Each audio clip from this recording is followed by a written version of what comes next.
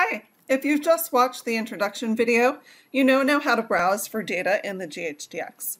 But what if you have a specific topic or geography that you want to search for data for?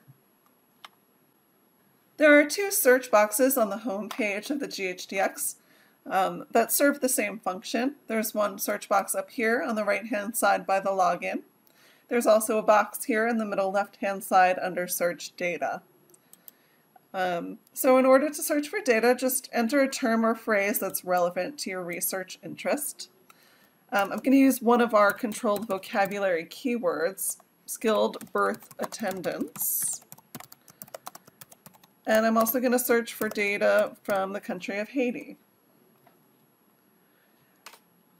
Uh, please note that if you're looking for an exact phrase, you'll want to enclose that phrase in quotation marks. So if we press enter, you'll see that there are only eight records that are tagged with both the keyword skilled birth attendance and also the geography Haiti. If instead you did want to find, uh, say, a list of records that contain either the term skilled birth attendance or the geography of Haiti, you would change that end to an or and then hit search. Normally when you change it from an end to an or, you're going to receive a much larger set of records. Um, so we have 1,761 items that have one or the other skilled birth attendance or Haiti tagged. Um, so you can also filter down on your list of search results by using any of the facets on the right hand side of the screen here.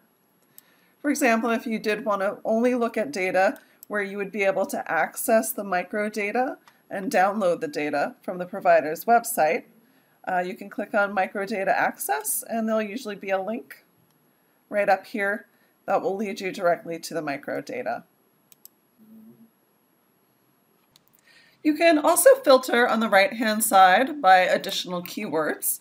So for instance, if you wanted to find records that have skilled birth attendants or Haiti tagged, but that also have the keyword marital status tag, you could filter by clicking on the marital status keyword. Um, if you then click into any of these records, you'd see this particular record has both Haiti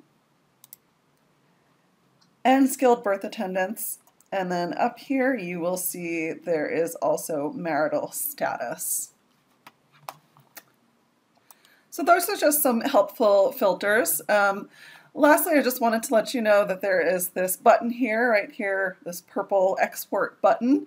Um, you can export a list of any of your search results into a CSV file just by clicking on this export button here on the right hand side of the screen and give it a minute to do its thing and it will uh, pop out a CSV file um, with the pertinent data points for the records that you've just searched for. Um, okay, well stay tuned. We'll be posting more videos to come on some more advanced functions. Uh, but thanks for tuning in.